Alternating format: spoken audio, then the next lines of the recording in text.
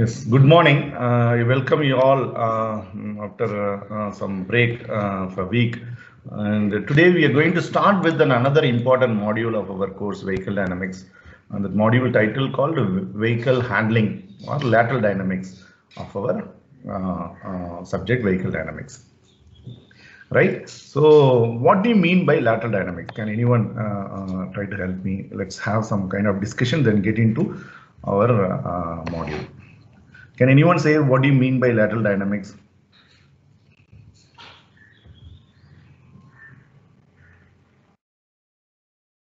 Vineet Krishna.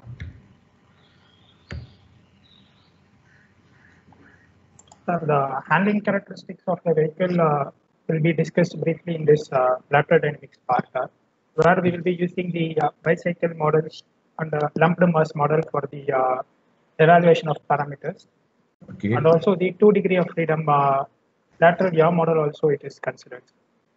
Yeah. See, whatever we have told, all are one and the same. Uh, you said uh, bicycle model, lumped mass model, or uh, two degree freedom yaw model. So this all are essentially one, uh, and that model is what is popularly called bicycle model. Uh, it's lumped mass model only because we consider only the mass of the uh, vehicle. Uh, so we consider uh, entire vehicle as a rigid vehicle. Um, so we call that as a only mass uh, lump to mass vehicle. There is no um, um, springs are there like that, right? Instead, you'll consider uh, you will have mm, two wheels and their um, cornering stiffness will be considered, right? That's a bicycle model. And uh, plane two degree freedom model essentially is this because you're going to look at this model in a plane which is XY plane referred to your ground plane, right? So that's essentially, uh, you rightly said, uh, looking at the motion of your vehicle using such model can be uh, a study of uh, vehicle handling uh, in, in broader spe- perspective called, uh, comes under the purview of lateral dynamics. So can you uh, have any other uh, response side? Uh, what do you, any more definitions of this lateral dynamics or vehicle handling? You said vehicle handling. So what do you mean by vehicle handling?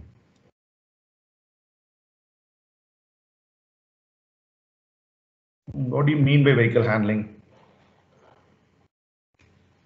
So vehicle handling refers to what is the responsiveness of your vehicle? What is the responsiveness of your vehicle when you give an input? When you give an input. So you being a driver of your vehicle and uh, for the uh, given input by you, what is the response that your vehicle gives is what is that study of vehicle handling. So what do you mean by that? It's essentially uh, um, driver, vehicle uh, and the environment combination model, right? So you see basically this model would be of, uh, represented by a closed loop control system model or open loop control system model. So closed loop control system model essentially to have a controlled motion and stable motion of your vehicle, right? So when you look at lateral dynamics perspective, we are having two important objectives that one is uh, how do you have a good control of your vehicle and how do you have a good uh, stability, directional stability of your vehicle during the course of its motion, right? So closed loop system gives you give an input to what we have seen in longitudinal dynamics. The input is only the acceleration. We do not change the steering. That means we studied longitudinal dynamics, a 1D motion, a straight line motion. Whereas in case of vehicle handling, we are going to give the uh, uh, steering input. So the vehicle is also having its combination with the curved motion, curvilinear motion. So it's a 2D motion, you can say, as the vehicle is always going to be on the ground with the full stability of its motion. So it is going to have its path, not necessarily now on a straight path, rather it can go in a curved path. So it's a curvilinear motion or 2D motional study is what is also called otherwise vehicle handling or lateral dynamic study. So this closed loop system is always, uh, you give a steering input whenever you see your road is not straight, you have to take a turn on a curved path. So you're giving a steering input. So when you give a steering input, if your vehicle is on the road, it goes in the uh, expected curve, then it is having good handling nature. right? So that means what you look at uh, and you are uh, feeling that yes, the vehicle responsiveness is what is that I expected.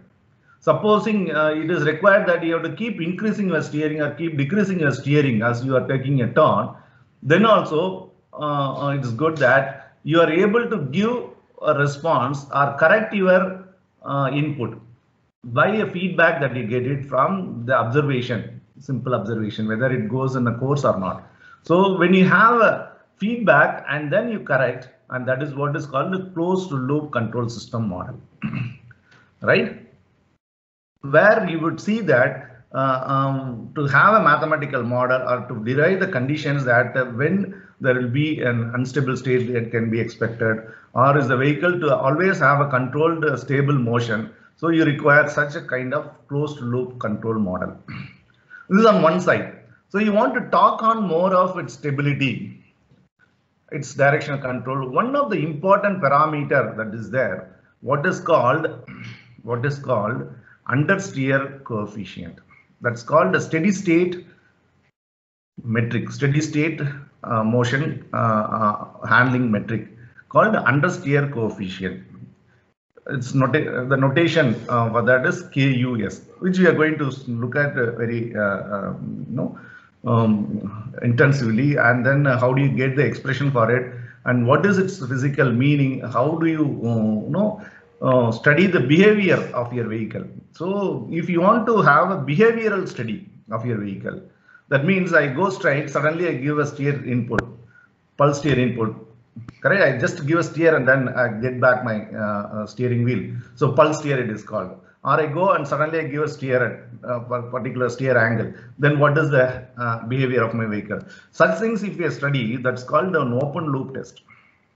So open loop tests are conducted uh, under particular operating condition of a vehicle called the steady state motion, where the motion parameters are independent of time. They will not vary. The velocity will not vary. and such motions are called the steady state motion.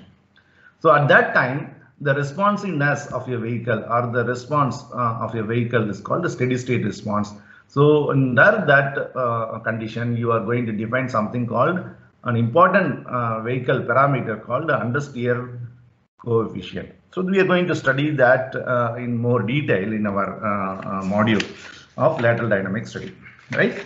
So to begin with uh, today's lecture, I am going to have an equation that is required to describe the motion of a vehicle. So I'm going to have a general case of a vehicle. As the vehicle is not a ground vehicle, it is a vehicle which is in air. And I'm going to take an aircraft and uh, I'm going to derive an important governing equation, what are called Newton-Euler equation. So it's basically a rigid body motion. so rigid body motion in space, uh, uh, what are the governing equations is what we are going to look at in today's lecture. And that vehicle can be, uh, those equations representing for that can be appropriately deduced to a ground vehicle. So all are connected. So if you are able to do a, a, a study and understand the uh, derivation of such uh, uh, simple um, equations for to describe your motion in space, uh, you will be able to have an appropriate equation for the particular case of your vehicle. If it is a ground vehicle, how can you go account? Also, it is very important that it is not only these equations what we are going to derive are quite useful for your aircraft study. You see today's uh, research, the vehicle, uh, ground vehicle has been uh, thoroughly experimented. Uh, the feasibility of that uh, can fly up. Uh, feasibility of that can float on the um, water. So in such cases, you see the equation, whatever that we derive, can be more suitable even for a two axle vehicle, ground vehicle, if it has to be investigated uh, for its uh, uh, lifting up from the ground and to have its motion in space, right? So already vehicles are on um, prototype model and vehicles have been experimented with a single person operating vehicle in air in Japan. So if that is all are the uh, um, uh, background understanding or uh, that we see, today's particular period of lecture is vital and it's going to give you clear-cut understanding of how these Newton-Euler equations are derived and are going to be useful for describing uh, the motion. Right? So that's what is essentially today's class summary uh, that I have been teaching you. Uh, for that purpose, let me share my ActivInspire board. Hope everyone is able to see this board. Uh, so let me uh, have today's lecture number.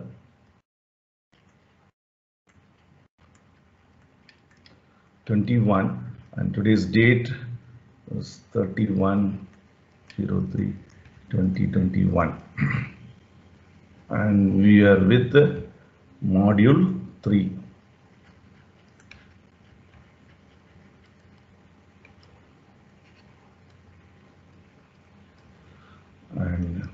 called lateral.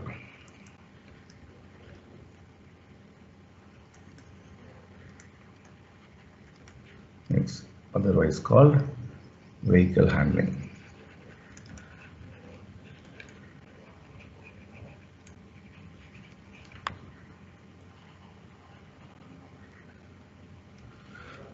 Right.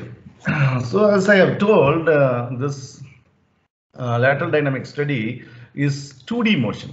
So if I consider uh, 2D motion uh, in XY plane, so this is my x-axis and this is my y-axis.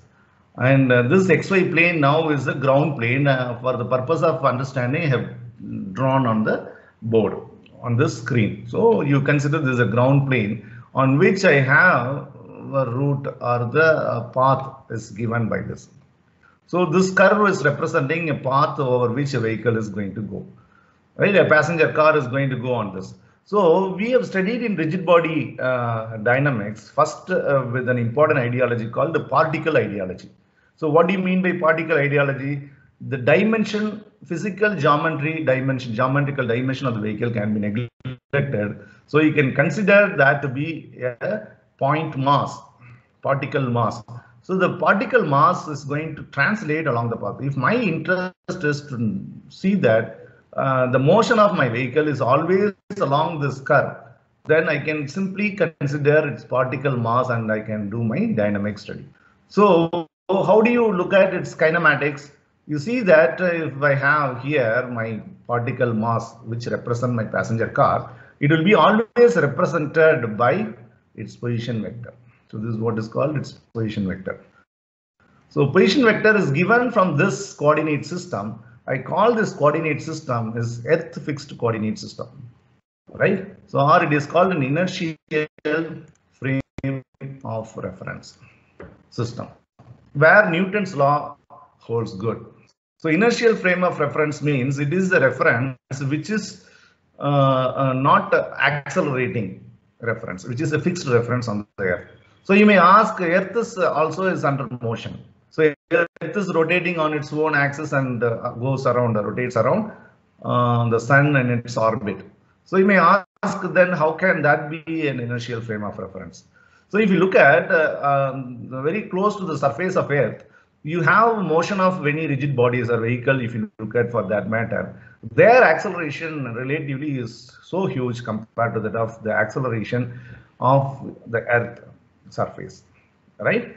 Earth surface. So, uh, which is negligible. So this assumption is valid. A coordinate which is fixed on the Earth is called an inertial frame of reference, which is not an accelerating frame of reference compared to that of the vehicle motion uh, on the Earth or near to the Earth, right? Near to the Earth surface. So with that assumption, we call this frame XY is inertial frame of reference. I have this vehicle on this path given by its position coordinate. So the position of the vehicle can be best explained from this inertial frame of reference. Right. So you see that if this vehicle is uh, uh, under motion and its velocity is always tangential along the path.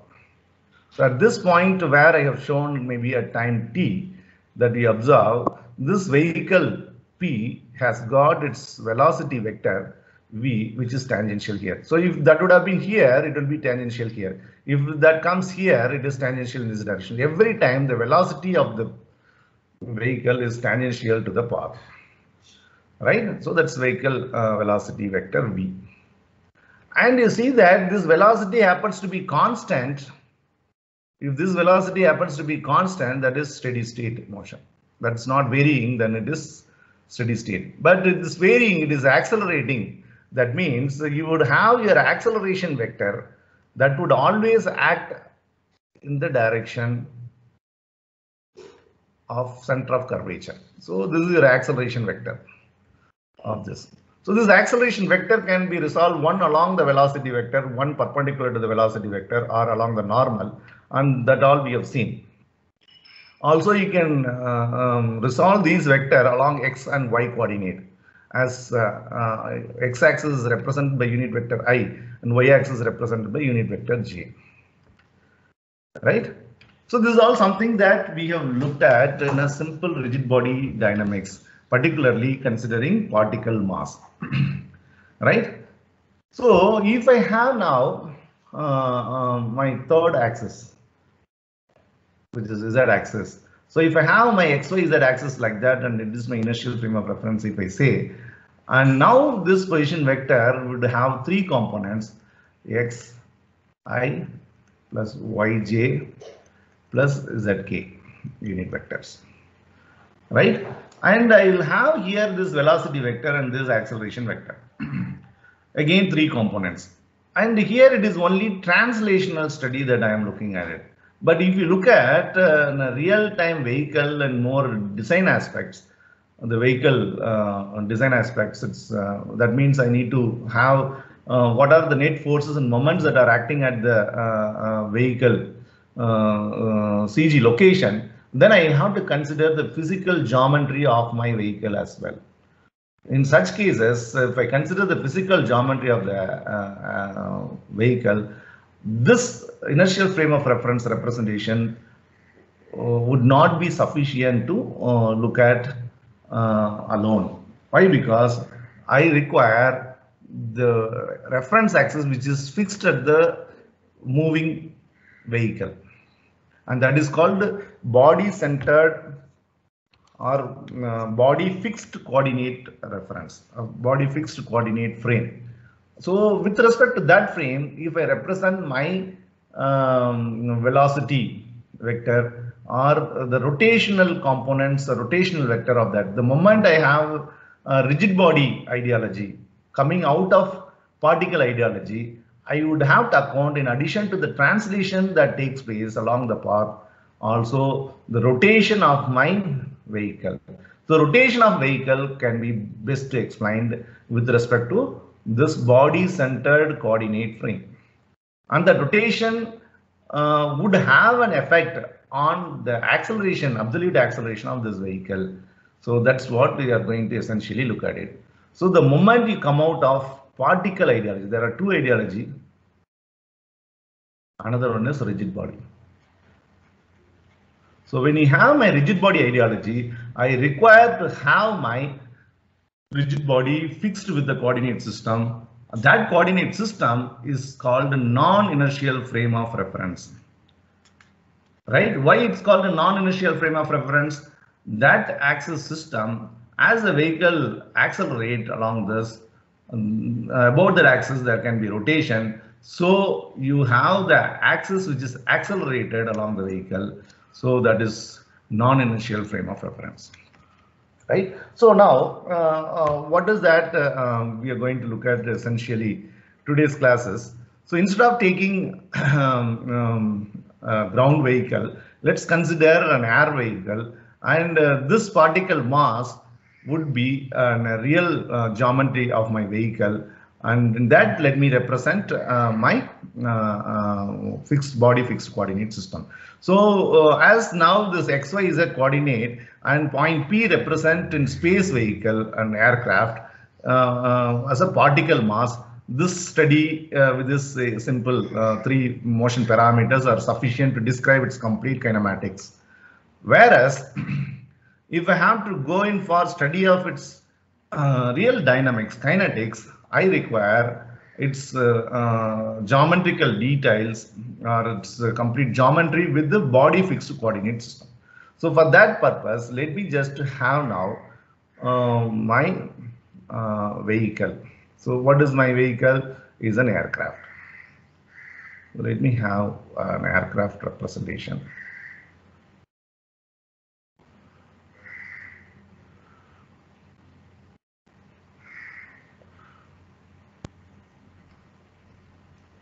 So this is an aircraft. Uh, simple sketch that I've drawn. So now this aircraft will have its right hand coordinate system with respect to the pilot of the aircraft in the forward direction say x. The right half the pilot is y and uh, down towards ground is the axis. So this small x, y, z with respect to this is what is called a body fixed coordinate frame. Body fixed coordinate frame. And uh, this body fixed coordinate frame is absorbed from an inertial frame of reference, capital X, capital Y, capital Z.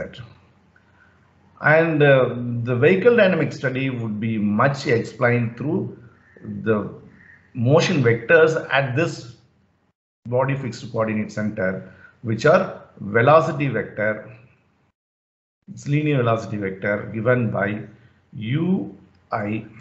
So here now, uh, see this is your i, j, k unit vectors of this body fixed coordinate system capital I, capital uh, uh, J, capital K can be for this fixed reference. Uh, so this will be UI plus VJ, VJ plus WK, where UVW are the velocity components along X, Y, Z respectively, right? This is my one of the vector Another vector is the rotational vector. So this rigid body can rotate about x, y, z axis. So that rotational vector is omega vector. So that would be represented by pi plus qj plus rk. Vector. So let's call that as my second vector right?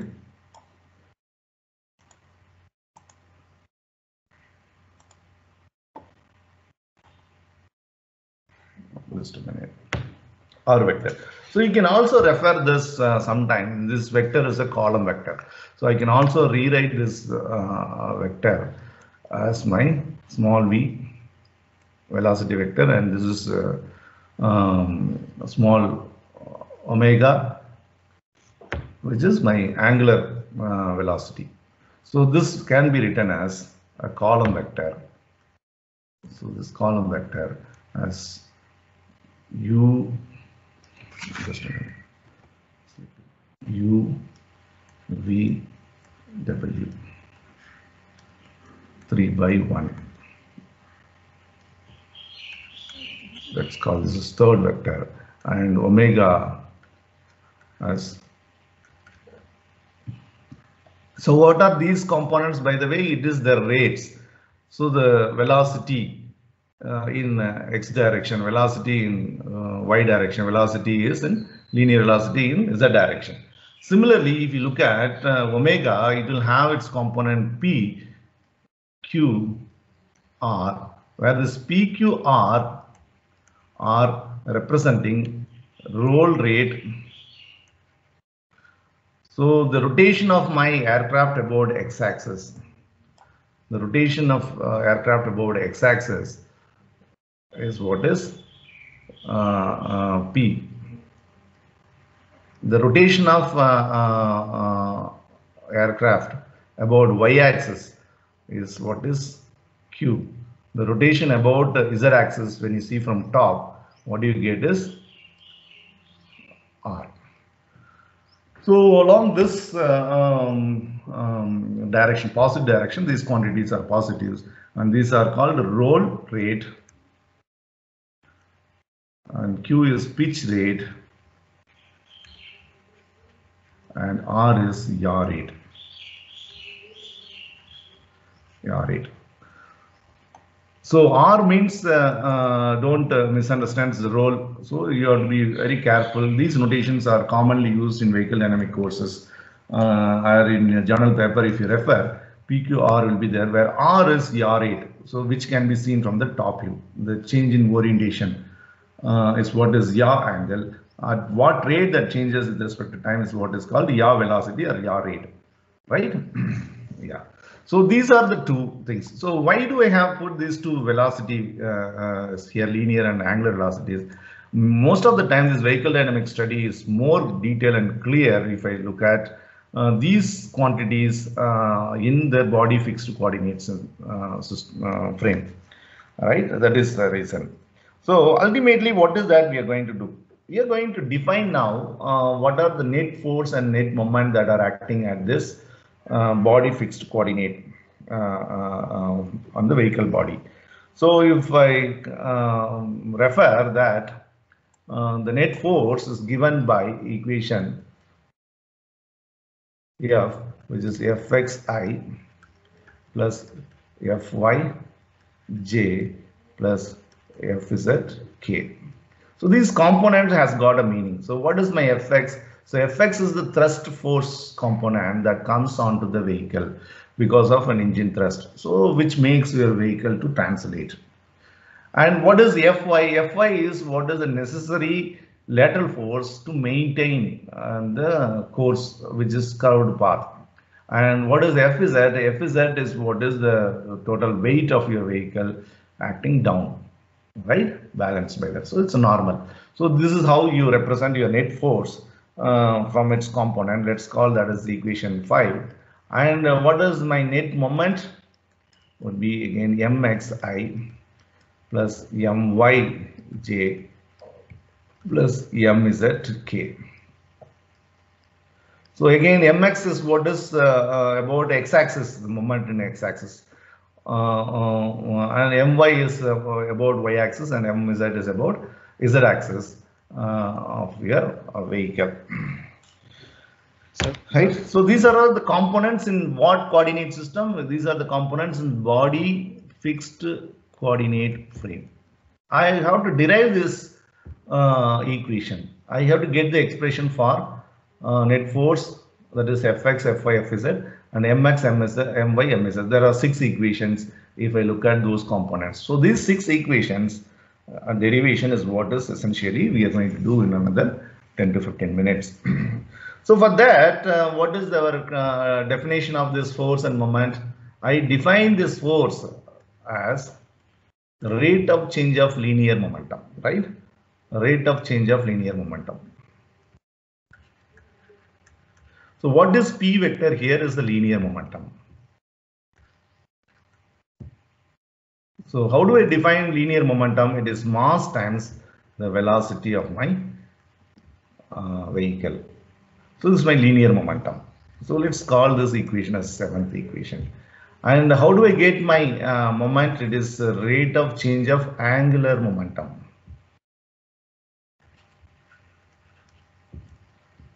So how do I define angular momentum? Uh, this is again a vector, but it is going to be depends on uh, important property of my rigid body. What is centroidal moment of inertia matrix? or it is a tensor where here m is a scalar value constant whereas IC here is an inertia matrix called a centroidal inertia matrix. So with respect to my centroid, what is my rotational inertia is present. So this is generally a tensor or a matrix form. So this would be of 3 by 3 and multiplied this with vector omega, which is 3 by 1. So I'll have 3 by 1. And this is again a vector 3 by 1. But it is a scaled value of my velocity vector. So whatever component is there, mass, if I multiply, I'll have this. So this is 3 by 1. So this is my equation number 8. So I'm going to have now defining my linear momentum here is done and defining my angular momentum and then I'm going to have my uh, rate of change of this. So if I do this, it is essentially mass times acceleration. So this acceleration is what is called an absolute acceleration of my vehicle from the inertial frame of reference. So this acceleration absolute value is now is going to depend on the linear velocity as well as the angular velocity of my body fixed coordinate system, how they are related. So that's what is what I'm going to uh, do today. So here you see this is going to be uh, uh, what is this is going to be uh, the rate of change of this. So I would define that as I C into alpha. Alpha is a vector again. So uh, alpha and A are the absolute quantities. So they depend upon the rotational uh, motion of my rigid body. So that has to be accounted. So how do I go and derive it? For that purpose, let us look at uh, for the simplicity, for the simplicity, this. So uh, let's define this. Let's number this equation. So this is 7, 8. And uh, in this, uh, these two are 7, 8. And in this, what is IC? What is IC? Is the uh, mass moment of inertia and product of inertia or uh, centroidal inertia matrix. So I would have IXX, IYY, IZZ, which were the diagonal terms of this matrix called mass moment of inertia of my vehicle. So how do I define IXX mathematically? That's going to be integral y squared plus z squared into dm. How do I define my um, product of inertia? So product of inertia is off diagonal term. So I have here IXY, IXZ. So here I have IYX, uh, and I have here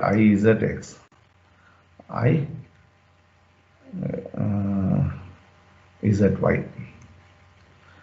So these are the nine elements. If you look at uh, this uh, uh, symmetry matrix, so IXY and IYX are same, IYZ and IZY is same, IXZ and IZX same. So there are um, six terms and these off diagonal terms are independent. So there are independent six uh, uh, values are there. So diagonal terms are called mass moment of inertia.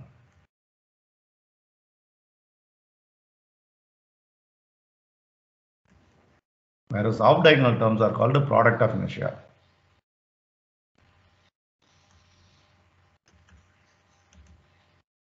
Product of inertia. How do I define this? It's minus x uh, uh, y dm. So product of coordinate times the elemental mass. What do you get as an elemental product of inertia. Integrate over the entire volume that you get uh, your uh, product of inertia. So uh, this is how you can just define this quantity. So let me call this matrix as ninth equation. And this two uh, uh, uh, mathematical definition of this element as 10th equation. This is 10th equation. Uh, so now, uh, knowing this uh, definition of linear momentum and angular momentum, I would be able to have my basic dynamic, mm, based on basic dynamic principle, the definition of force and moments given by this. So let's call those equation as 11th equation, linear equation, force equation, and this is momentum, moment equation as 12th equation. So uh, now, uh, how do we go about deriving this equation? For that, so, let us, yeah. So could you explain the uh, the terms in the 12 um, equation again? See, this is what is the moment equation, right? So the net moment acting on the body of the vehicle is uh, rate of change of angular momentum. So HC is angular momentum.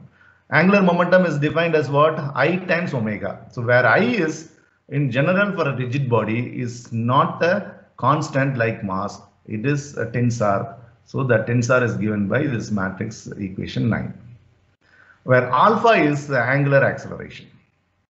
Okay, sir. Okay. Yeah. Yes, sir. Uh, and the, the equation 8 is what is called an angular momentum. Equation 7 is what is defining a linear momentum. So these two momentums are required uh, to define force and uh, moment respectively, right? Yeah.